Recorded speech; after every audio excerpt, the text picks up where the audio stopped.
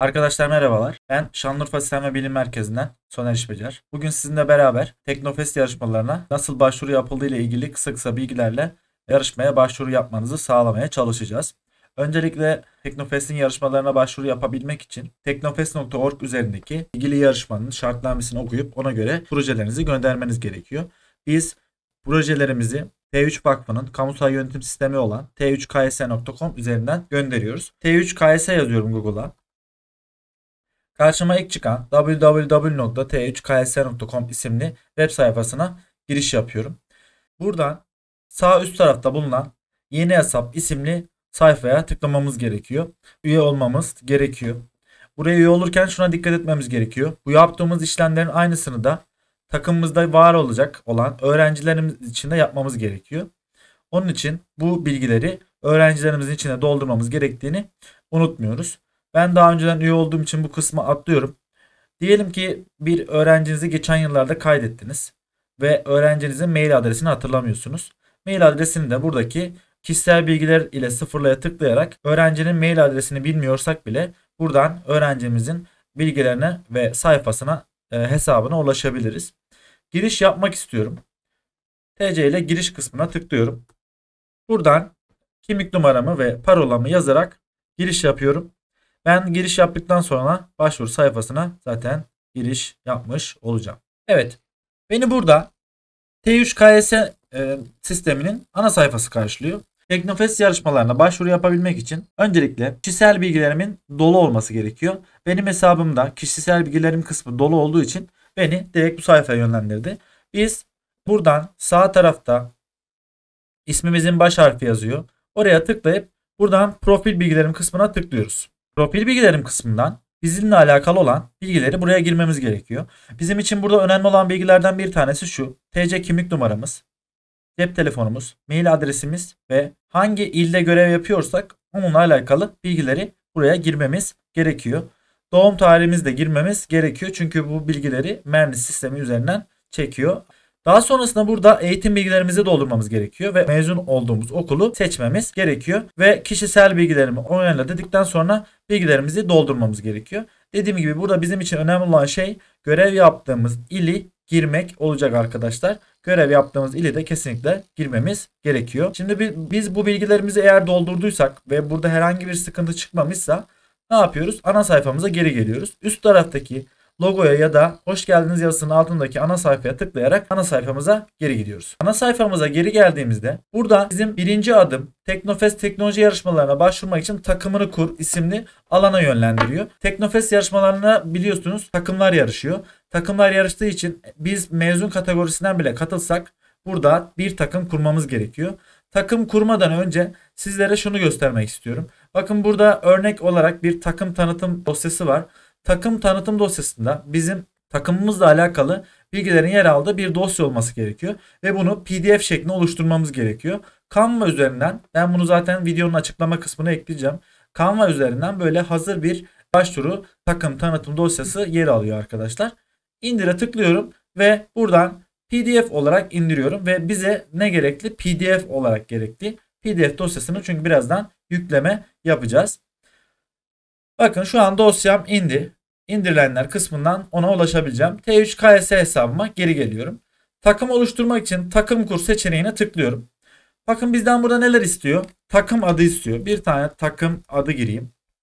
Profesyonellik alanımızı istiyor. Robotik seçeyim ben buradan. Takım kuruluş yılımızı 2022 yılını seçelim. Takım türümüz buradan okul seçiyoruz arkadaşlar. Takım seviyesi ortaokul seçiyorum. Ben ortaokul okulunda olduğum, ortaokulda olduğum için. Kurum tipini ortaokul seçiyorum şey, okul türünü ortaokul seçiyorum. Takım kurum tipini kurumum yok yapıyorum. Aşağı iniyorum. Şimdi burada benim bütün okullarım listeleniyor. Ben kendi okulumu buradan seçtim. Takım okulum eğer burada yoksa buraya yazmam lazım. Şimdi takım üye sayısı önemli. Takım üye sayısı bizim takımımızda danışman hariç olan kişilerin e, sayısını aslında buraya gireceğiz. Yani 8 kişiye kadar oluşturabiliyoruz. Ve bizim için ne olacak? Takımdaki danışman hariç sayısı olacak. Yani kaptan ve diğerlerinin toplam sayısını istiyor.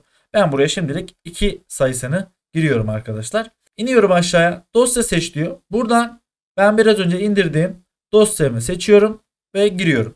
Takım tanıtım metnine buraya kendi takımınızı tanıtan bir metin oluşturabilirsiniz. Buraya takım tanıtım metnimi girdim. Siz de kaptan ya da danışmansanız buraya bilgilerinizi ekleyebilirsiniz. Ben buradan danışmanı seçiyorum. Robot değerimi işaretleyip takım kaydını tamamla diyorum. Şimdi biz başvuru 28 Şubat tarihinde bitiyor. Ancak biz 28 Şubat'a kadar buradaki bilgilerimizi güncelleyebiliyoruz. Şimdi bakın biz takımımızı kurduk. Takımımızı kurduktan sonra takım bilgilerim kısmında bakın takımımızın isminin görünmesi gerekiyor. Burada diğer takımlarım var benim. Ve bakın takım adı şeklinde buraya geldi. Burada bakın üye işlemleri kısmı var. Üye işlemleri kısmına tıklıyorum. Böyle bir sayfaya yönlendiriyor beni. Şimdi biraz önce de demiştim. Takımdaki diğer üyeler için bu e, bilgileri ve hesabı oluşturmamız gerekiyor demiştim. Kişisel bilgileri öğrencinize bir hesap açtınız. Öğrencinizin bilgilerini kaydettiniz. Kişisel bilgilerimi doldurduktan sonra sol taraftan buraya gelip kimlik numaranızı, mail adresinizi ve takımdaki rolünü üye şeklinde seçip davet et demeniz gerekiyor. Daha sonrasında ise öğrencinin T3 KS hesabına girip oradan yine aynı şekilde sağ taraftan takım bilgilerime tıklayıp bakın takım davetiye diye bir alan var burada. Burada görünmesi gerekiyor öğrencinizin hesabında. Daha sonra buradan onayla isimli butona tıklamanız gerekiyor. Eğer öğrencileriniz tamsa herhangi bir şekilde tamamlanmışsa artık siz projelere başvuru yapabilirsiniz.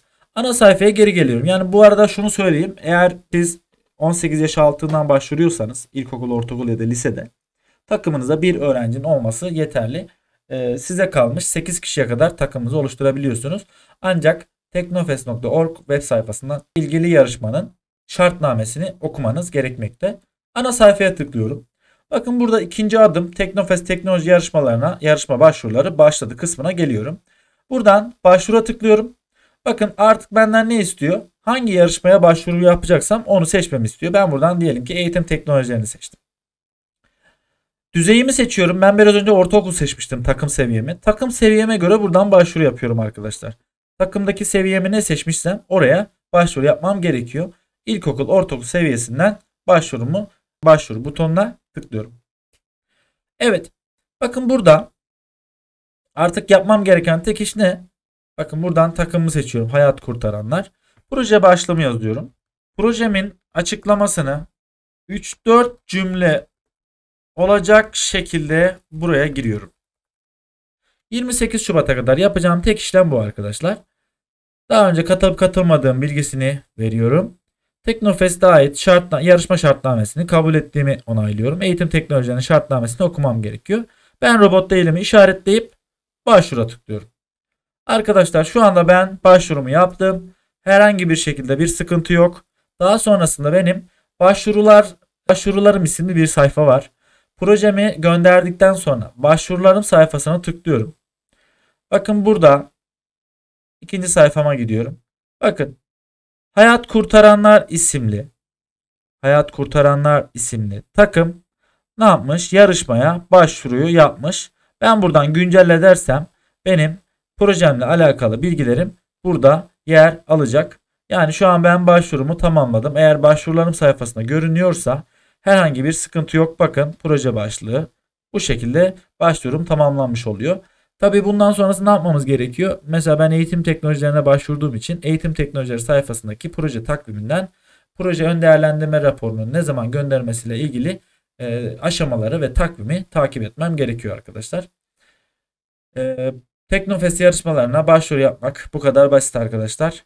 Daha sonraki videolarda görüşmek üzere. Kendinize iyi bakın arkadaşlar.